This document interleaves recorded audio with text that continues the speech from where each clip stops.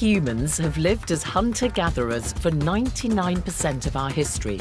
But it's during the last 1% of that time, the past 12,000 years, that we've seen the most dramatic transformation in our lives. What triggered the change? Goats, cows, and plants like these. Between 5 and 7,000 BC, we also became pastoralists and farmers, domesticating animals and cultivating crops. We started to form ties beyond those based merely on kinship. We developed a more varied lifestyle, which in time led to urban centres and great civilizations.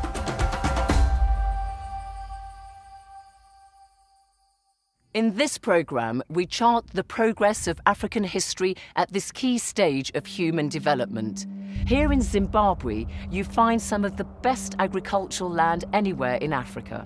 But land is so much more than just soil for farming. It is integral to identity, culture, and the ancestors, and it provides the foundation for a complex system of beliefs that has lasted throughout the generations.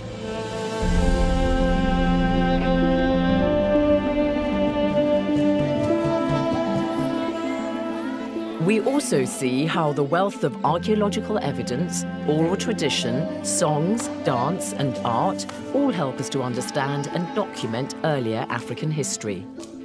These sources, interpreted and explained mostly by Africans themselves, form the basis for a unique project undertaken by UNESCO on which this TV series draws its expert opinion and facts.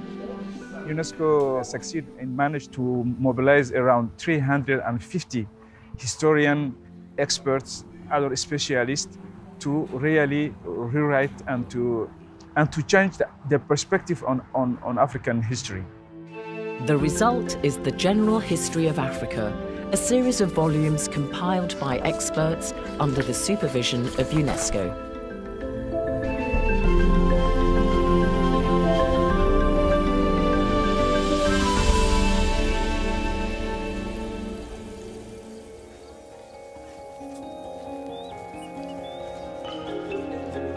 All early humans lived as hunter-gatherers.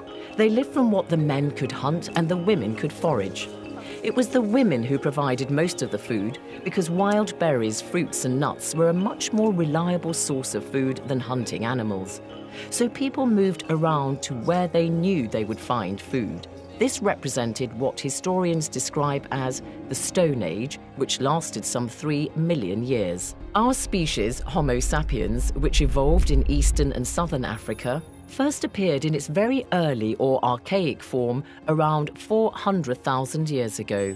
Modern humans, anatomically the same as we are now, have only been in existence for a relatively short time, for about 200,000 years. By about 90,000 years ago, we had populated the whole continent of Africa. Around 60,000 BC, something happened that made us start leaving Africa, probably from what we now call the Horn of Africa to what is today the southern Arabian Peninsula, across to the Middle East, and then to Southeast Asia. Eventually, these migrants would populate the whole world. Why did they leave Africa? Well, the population of the continent came under threat from climate change.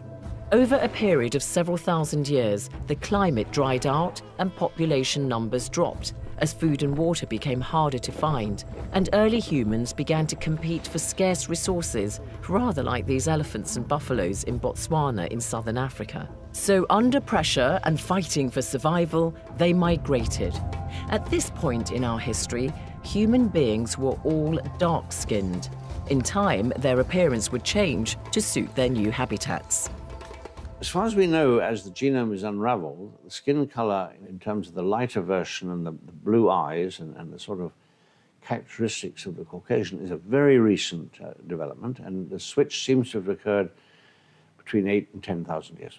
So, would that be about the time frame we were all black till 20,000 years ago? I think it's highly probable that we were, but until you find the skin, you've got to be careful that you may be mistakes in the genetic interpretation.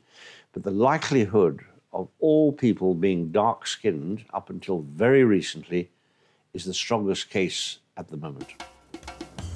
But what we're examining in this programme is the history of those people who remained in Africa. What was the pattern of their development?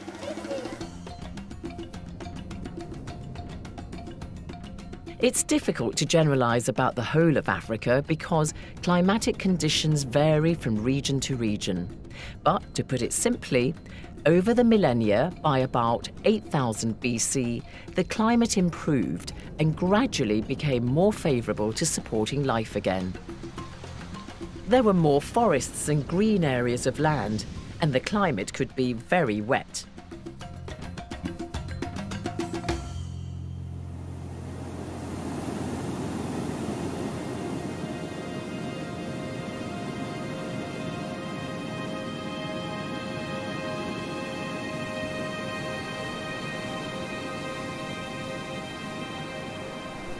The Victoria Falls here in Zimbabwe, surely one of the most iconic and best known images of Africa. The spectacular falls are the waters of the Zambezi River, which flows through several southern African countries, making the region one of the most fertile on the continent. By about 7 to 8000 BC, early humans were beginning to protect the wild animals which are of most use to them, like wild goats, sheep, and later on cattle. Over time, they bred these animals, which led to their domestication and gave rise to what we call pastoralist communities. Professor Felix Chami is a Tanzanian historian specializing in early human settlements. I've come to meet him on the beautiful island of Zanzibar. The coast of East Africa has been settled from more than 30,000 years ago. We found remains of uh, culture which is of people who are hunter-gatherers. Actually, they are hunting Animals such as a giraffe, animals such as antelopes, all the animals which is in Serengeti today, they were already in Zanzibar here. From the Stone Age tradition, we come to another tradition known as Mesolithic. The Mesolithic tradition comes in at the time when there was a lot of flooding, a lot of water. And uh, here, people are, are, eating a lot of marine creatures, a lot of aquatic animals, but they are still hunting. There was a bridge between mainland Tanzania and today Unguja, Zanzibar. So it seems like the people of Stone Age did actually cross the bridge from the mainland to Unguja. Unguja is the old name for Zanzibar. Exactly. And even today, too, we still use it. But by the time of Neolithic, starting from about 6,000 years ago, we are having cattle being brought to the, to the islands. We are having chicken being brought maybe from Southeast Asia. We are having all types of domesticated animals on the islands of Zanzibar, suggesting these people are probably in great contact with the people of, of the mainland, but also they are in contact with people of other continents, Southeast Asia, maybe Sea, in, in, in other places. Today, you have to travel by ferry from Zanzibar to the mainland of Tanzania, which is where I'm going to find out more about how pastoralists lived in ancient times. The Rift Valley, which encompasses much of East Africa, including parts of Ethiopia, Kenya, and Tanzania, has some of the best evidence of how early humans lived. There are many traces of pastoralism throughout the region. We know that from the overwhelming number of goat and cattle remains found here. And when it comes to people, few better depict the link between humans and their cattle than the Maasai.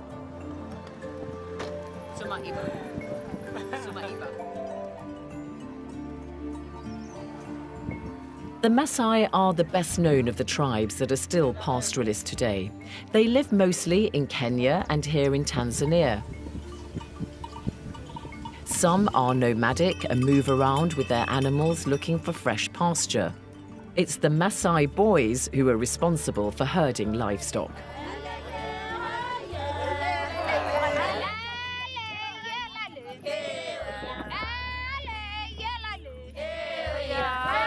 The Maasai take their name from the language they speak, Maa. They get all their basic needs from cattle meat, milk, blood, hides, and dung for building materials. Hinama Marite is a local Maasai guide.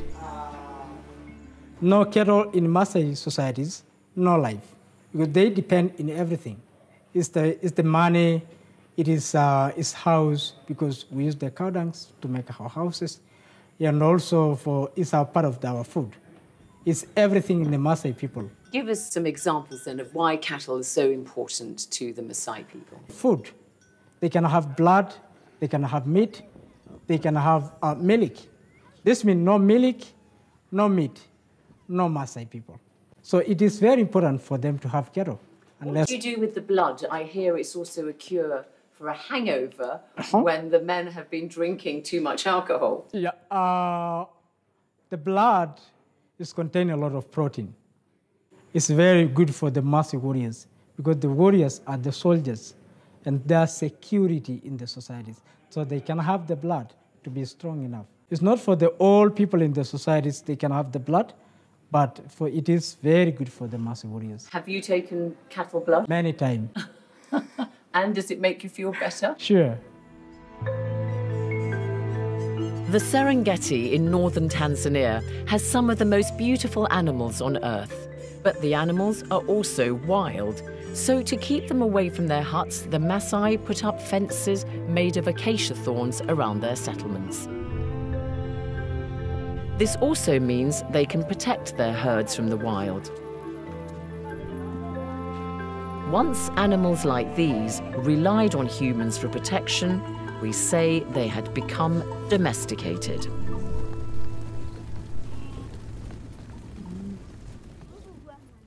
Jumbo. Oh, ah, hello. At the Maasai settlement, I get chatting to one of the older women, Nono Olukula, who's looking after her granddaughter, Naite. Incidentally, it's the women who build the houses. They're made of mud, sticks, grass, and cow dung bound together with cow's urine. Levisho. Ilankare. Ilorge. Niyerisho. Asi. How far do you have to walk to collect firewood every day? Eh. How long does that take? It seems to me that the women work much harder than the men.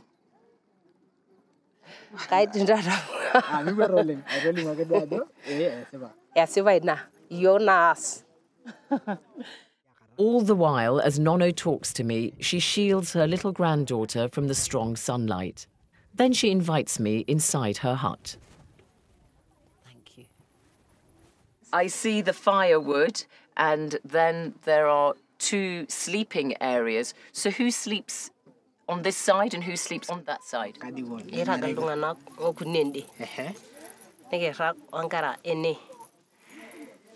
Three men sleep there and uh, the mom and kids sleep in here. Meanwhile, little Naiti's mother, Nangututi, is preparing to make her regular and grueling walk for several kilometres to fetch water. Pastoralist communities all over Africa, not just the Maasai, have to make the most of the meagre resources in their environment, and this has led to an exceptional capacity for survival and adaptation as well as a sophisticated system of solidarity.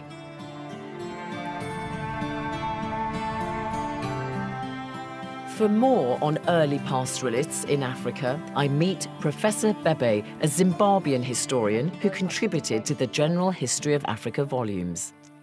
What we should always remember is that for a very, very long time and for many centuries, domestic animals were not owned by the entire society. The very powerful ones emerged who were able to organize groups of men into uh, soldiers and so on for the purposes of, first of all, heading, and secondly, for the purposes of raiding cattle from other communities in order to accumulate the desire to accumulate wealth by those powerful individuals is the one that brings about the creation chiefs and the hereditary system within society. Because then, once this powerful individual is accumulated that wealth, he strives to keep it within the family. And how does he do that? By so many ways. First, by creating an army for himself, and secondly, through marriages and so on. In this region, if you have cattle, you are a very rich person, very rich person. Even today, I do have cattle. And I'm very proud of owning cattle. So are you rich and powerful then? No. Thank you. No, no, no, no.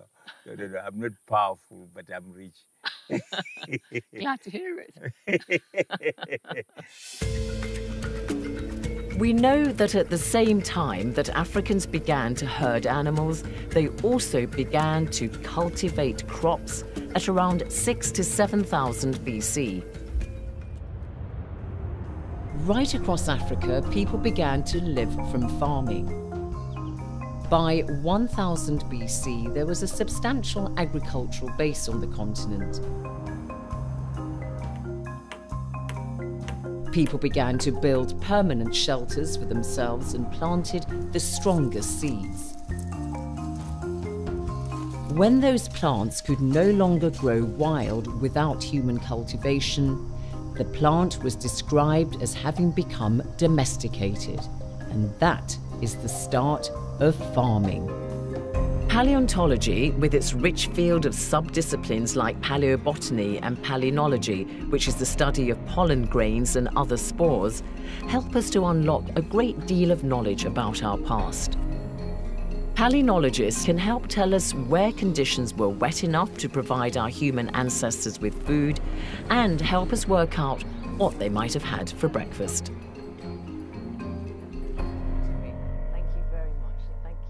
Before written records, before you have the recollection of oral traditions, we have to look for other sources to give us uh, historical data. As historians, if you are working on the prehistorical period and you do not have um, written records, then you have to look for alternative sources. And uh, for these alternative sources, we look towards discipline like um, archaeology, linguistics, paleobotany, paleozoo, and uh, a host of other related sources. In early African farming, land was commonly owned. Today, it's often more of a family affair.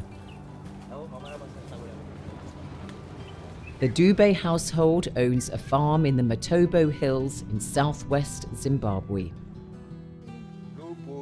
Charles, his mother Suzanne, and his two wives Kukanya and Sibongile grow a variety of crops, including sorghum, maize, beans, and groundnuts, with the help of their children. Grandmother Suzanne leads the family in singing a song about how hard it is to weed crops.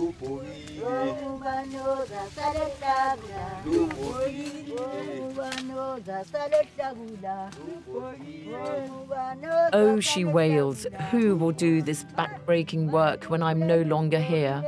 She's more than 70, and her manner is sprightly and energetic. Dube, by the way, means zebra in the local Ndebele language. It's a Sunday, so the children can help the grown ups because there's no school today.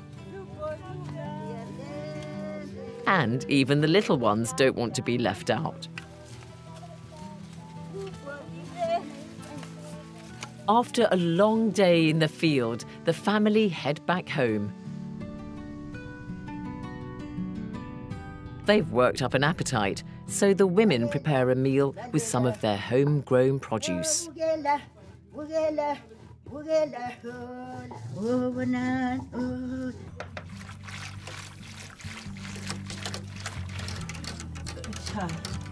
The children, meanwhile, enjoy a well deserved break.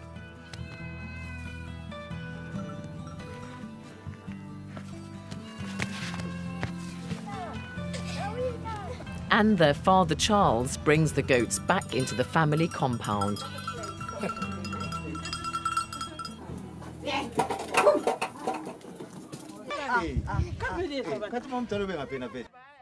Pathisa Nyathi is a retired local science teacher who's written extensively on Zimbabwe's history and heritage and now runs a much acclaimed cultural centre.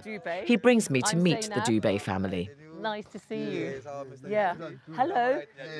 Hi. I'm fine. Hi. Hi. Hello. Hello. Hi. These are your two wives. Yes. yes. Hello. How are you? How are you? Fine. Yeah, good.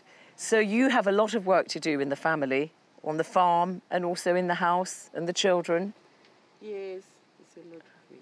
A lot of work. What time do you wake up in the morning? Early six o'clock. Six in the morning. That sounds good. You have a bit of a lion. I thought you were going to say 4, 5 a.m. it will be still dark. it's still dark at 6. Okay, I'll let you off. So you get up and you also wake up at the same time. You wake up at 5. Oh, so you do get the lion. You see, I was right. She's Yeah, younger. the young one, She's yeah. your younger wife. Yes, because Oh, I see. Make fire for the children to school. So you put you make a fire in the morning for the kids to go to school, and then who makes breakfast? She's the one She's the one who does the breakfast. younger than me. Aha. Does she make you breakfast too? Yes. That's nice. And what about you, Suzanne? Um, you must know the best recipes, how to make the food perfectly. So you teach the younger generation how to make tasty food. kuthiwa uyabafundisa uyabafundisa abantwana laba abantukwazi benu ukuphe ukudla Yeah. Yeah. She says yes. She teaches them how to make a, a nice recipe. All right, good. And what about you, Charles? Tell us the seasons and how you plant your crops. We do farm in October if there is rain in time. Now for this year, uh, we planted it uh, 18 December because there wasn't rain. But now it's plenty rains. Yes. So, Pathisa, it's interesting, isn't it, that Yeah. Charles is talking about agriculture, which is still rain fed, as it was in the Oh, days gone ago. by, centuries exactly, ago. But that does rather leave people open to um, food shortages when there is a drought, when there isn't enough rain.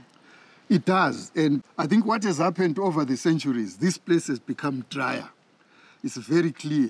But this year has been unique. But again, because some farmers do not apply fertilizer or cattle manure, then when there's too much rain, it, it's disaster again Right. because there's waterlogging and the, the, their crops start uh, yellowing. So the and- crops become Oh, waterlogged. yeah, so too much rain is no good. Disaster. And too, Too little, little, rain is disaster no good. again, You want a happy medium.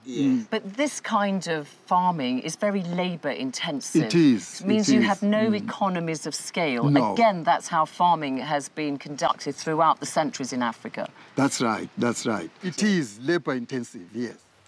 All that talk of rain with Charles, and the rain has Mm. come down And as the we rain has speak. come. Well, I think um, because the rain's quite heavy, we should let these, these good people, the Dube family, get back Yeah, into that's their uh, right. shelter.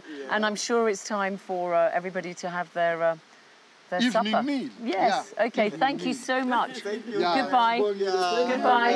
Goodbye. Bye bye.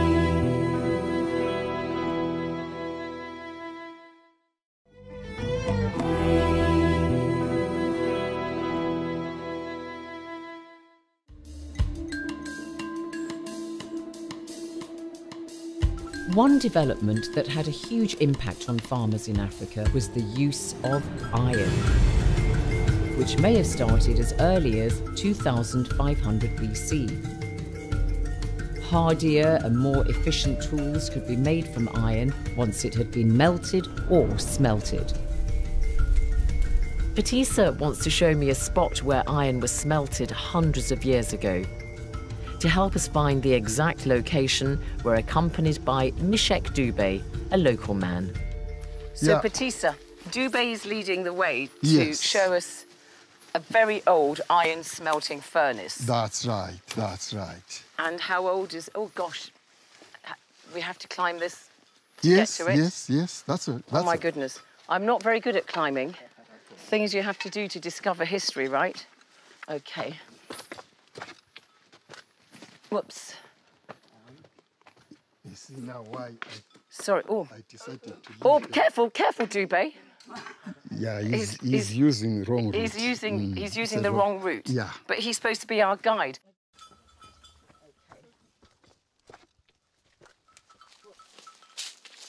So this is it. This is it. This is the furnace, yes, the smelting So furnace. what would they do to smelt the iron? There are two ingredients that are critical because this is a chemical reaction. Uh-huh. It must be iron ore, hematite, and carbon Right. from burnt wood. So you'd get the carbon from trees from the N- not The from trees around trees, here? Oh. a particular tree, which when it burns, it does not produce ash. So there would have been furnaces like this all over All over. the continent. And there are many of them. Mm. Many, many of them. And then they would take the iron that's been melted Mm. by then and then use it to fashion into objects. Whatever implements like, for example. Right. Thi- This is a type of whore. You can see the mammoth size of this whore. However, what is important to see is that this sharp end, it tells you it was not for wheating, Right. but was used for digging to make ridges. This area used to be waterlogged. So to plant crops, you needed to raise some ridges so that the crops are off the Right. water line. And then And then making Dube's also got this axe. That's right. The axe. Is axe, that very sharp? not very sharp, no, but uh, anyway, this is one of the products. There's also, because of course, iron was very useful for fashioning weapons for defense That's and right. attack. So- Particularly spears. So wars, those who already had possessed iron technology were winning the wars using spears. You want to be careful with that, Pathisa. He's aiming it at you. No, no, no. Oh, impika ihlome, oh, singaboke. Oh, nasipika ihlome bo, oh, singabo. Okwenzani emhlabeni thina? Oh, nasi.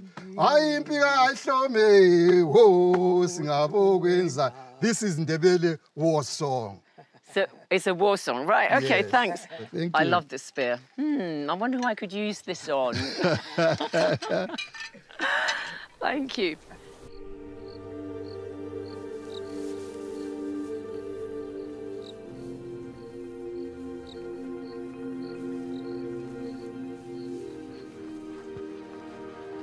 One of the best examples of how the Iron Age brought progress right across Africa is here at this site of Great Zimbabwe in the center of the country.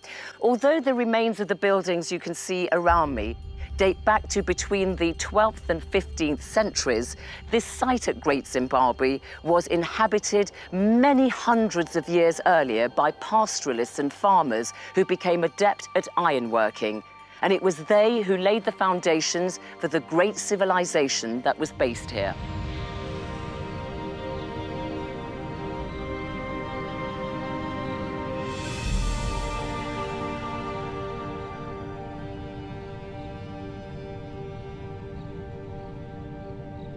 iron technology, when it comes in, it's revolutionary. The coming in of the Iron Age uh, transformed societies because, first of all, there was the need to control the source of iron itself. And then, secondly, there was need to control the people who were experts. Not everybody could make iron or could make forges and so on. Uh, they were experts. Uh, the Smiths were, were, were really specialists. By about 500 BC, iron working was well established across much of Africa. The use of iron tools enabled farmers to work the land better. An abundance of food led to improved nutrition, larger families, and expanding populations. Cooking wares and pottery began to be developed to store and carry food. Also, a surplus of food meant that not everybody had to be involved in providing it all the time. It meant that some people could devote a portion of their time to providing services and making goods. This, in turn, led to the beginning of economic activity and marked a significant phase in Africa's development.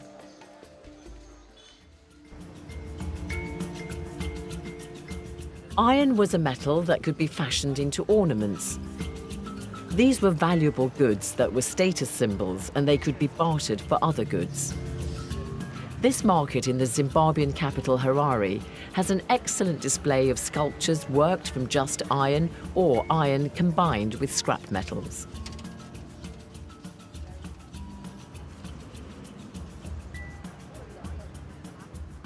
Hello. Uh, Hi. hello, how are you? I'm Good morning, Zeinab. How are you? I'm Alan. Hello, Alan. Nice to meet you. Sorry to disturb you from your Yeah, work. it's so, okay, are these sculptures, these iron sculptures, your work? Yeah, it's my work. Yes. Uh-huh. So, typically, how long would it take you to make a sculpture? Two, three, four days. Two to three, maybe four days Yeah, if it's four days, bigger. yes. That sounds like a lot of hard work. You, uh, how do you actually put the metal together? Uh, we, we weld it. You Yes. weld it. Yes. How do you stop the um, iron from rusting? Uh, we used clear varnish. Clear varnish. Oh, Yes. yes, of course, you can see the sheen on them. So, which is your favourite piece? Chicken. You like the chicken? Yeah, it's because you like eggs for breakfast. I like eggs for breakfast. And what do people who come shopping here? What what, what are the, the best-selling figures? the best-selling figures, especially this cock. Really? Why And do the- they like it? Does it have some cultural significance? Uh, it is it is an alarm. Every hour, it rings the bell. Yeah. Wakes you up. Yeah, wakes you up. Do that again.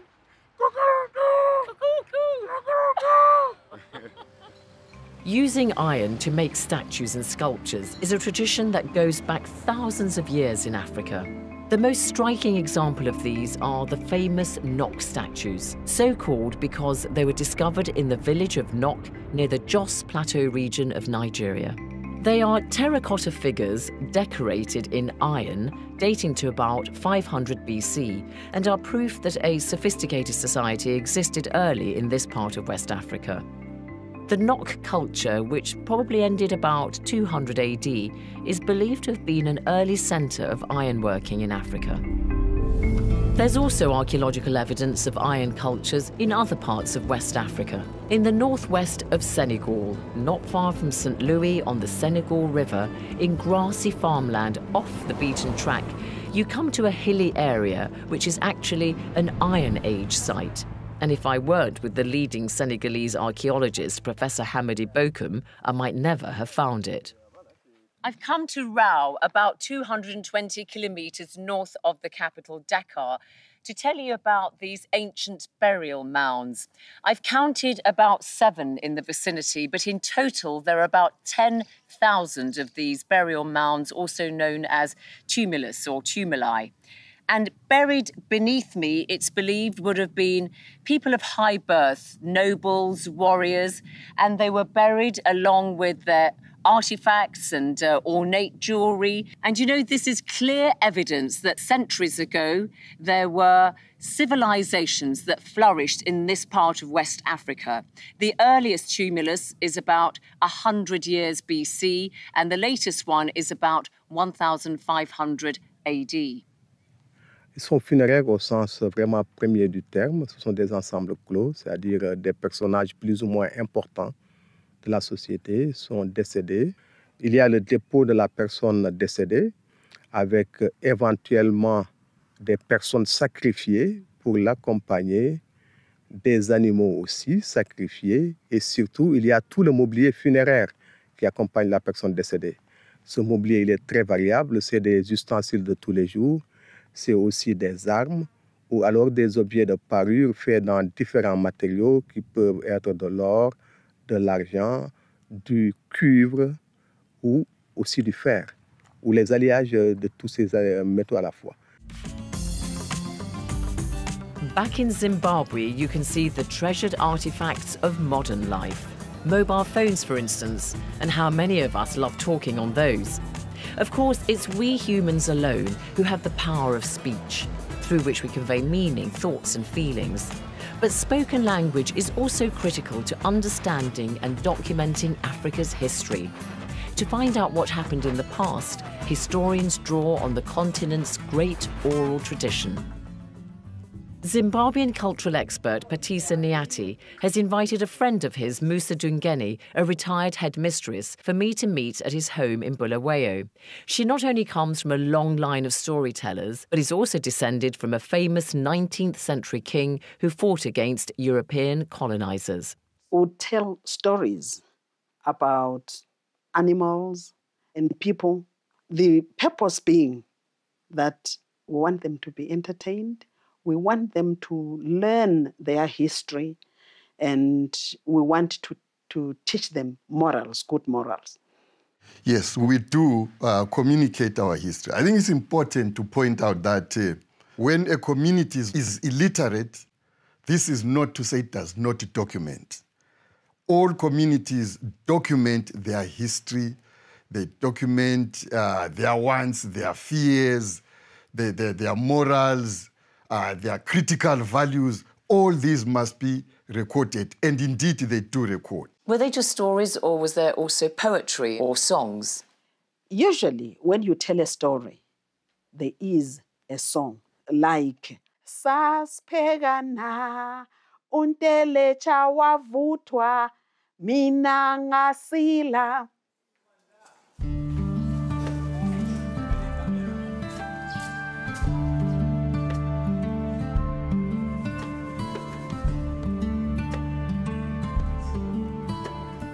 Arts and crafts are also an expression of knowledge, culture, and heritage.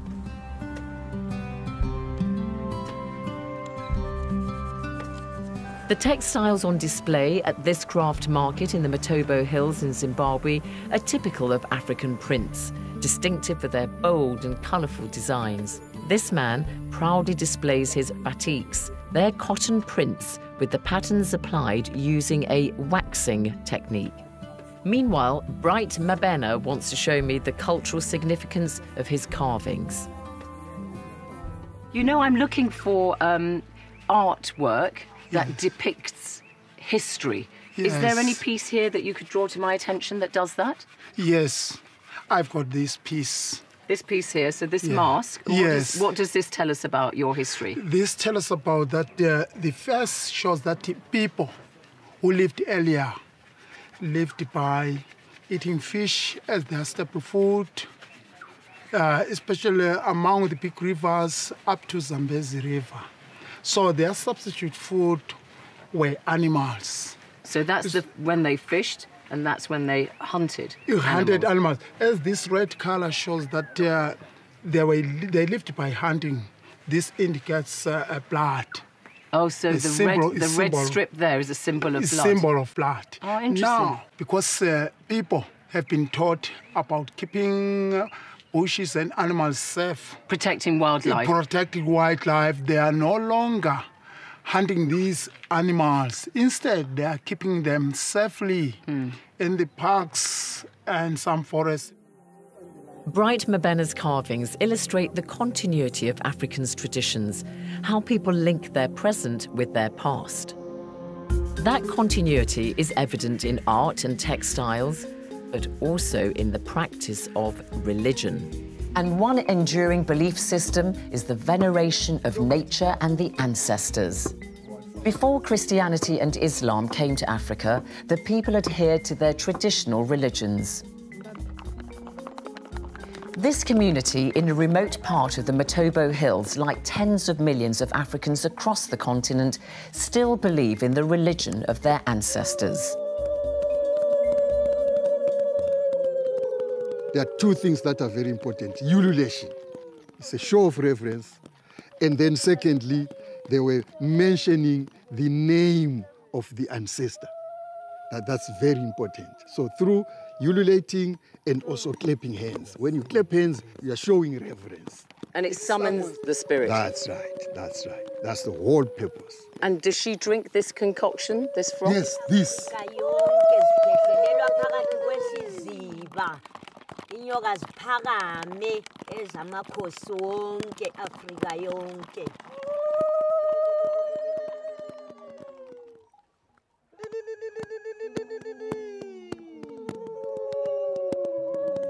Thank you very much indeed for showing that. Thank you. Yeah, Thank you. You're going to help me get up. Abokhulu. I need help. Thank you. Okay, thank, you very much. Hayi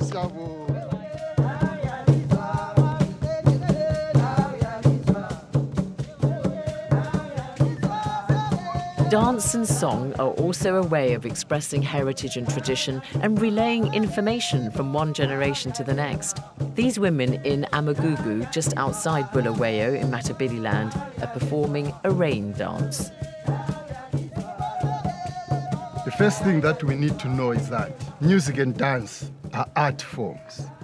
And an art is expressive. It's a form of documentation. Africa did not write, but this is not to say Africa did not document. Africa documented through visual art, through performance arts. And it tells a lot about the people, their history, their values, their perceptions, their worldview. It's all about symbolism. The color black is a cloud pregnant with water. And then the way this leg rattles, that is when now it's raining. Cha, cha, cha, cha, cha, cha, cha. It's already raining. The drums, the sound from the drum. And then it's going boo, boo. That's thunder. Then you have created the sound of rain. And then their movement, the choreography, is the twirling clouds. Now you are creating a rain ambience. That way it rains because you have created conditions that are reminiscent of rain. Do you honestly believe that a dance can make the kind of formations that you talk about that we need for rain? Yes, I'll tell you one critical problem with this world. There are people who think we can understand this world through the eyes of one culture. I don't believe that one. This world is too complex to be understood, interpreted by one culture. But what has happened is there are cultures that think they are superior to others. And their view of this world is the view. This has been the problem. So, science. Which culture are you talking about there? It's Western culture, obviously. I have the advantage of understanding culture, understanding science, and I'm grateful that I did science. So when I look at a dance, I understand it better. And I have argued that you are not going to understand the African phenomena if you don't understand science. Because our dances, the whole culture is inspired by the cosmos. And the cosmos are characterized by rhythm, seasonality, periodicity. That's what characterizes our culture. So there are many layers when you look at uh, a music, at a performance. The history is, is the people's culture, it's the people's heritage, their values, it's everything. As Africans work on building their future, many believe their efforts should focus on the development of their science, industry, and technology. But Africans must also understand their past in order to assert their identity and control their present narrative. Everybody, young and old, African and non African, should understand that Africa's history, heritage, and tradition should be celebrated. It is part of our global story. In the next program, we see how once Africans began to live in permanent communities, they embarked on building some of the world's greatest urban settlements, like that of ancient Egypt, the best known and most glittering of Africa's civilizations.